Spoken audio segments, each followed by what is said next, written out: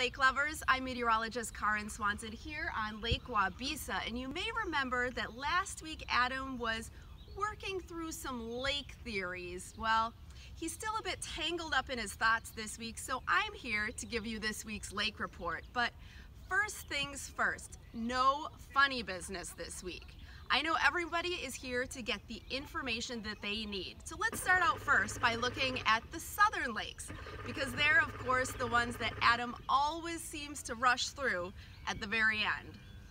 Earlier in the week, we did have reports of cyanobacteria blooms on the eastern side of Lake Waubesa and the southern part of Lake Kegonsa. Remember, if you see a cyanobacteria report on lakeforecast.org, be sure to keep people and pets out of the water.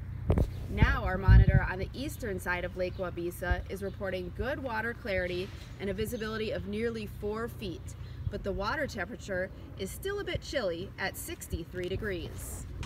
Looking ahead to the weekend, our forecast calls for highs near 70 as well as some scattered shower and thunderstorm chances. So if you're looking to get out on our lakes and perhaps find some warmer water, look no further than Brittingham Boats right here on shallow Monona Bay.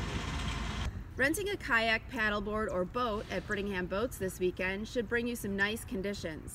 Light winds mean there shouldn't be too much chop on the lake. In the bay, our monitor at Brittingham Boats is reporting fair water quality, visibility just under 2 feet, and a water temperature of nearly 67 degrees. Jumping up to the larger Lake Mendota, there's a variety of great spots.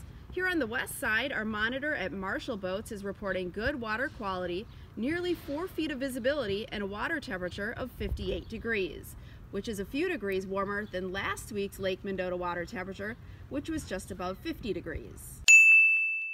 Well, there you have it, a quick tour of the watershed and all of the important information people want. One more note, the beaches are open, but there won't be any lifeguards on duty for about two more weeks.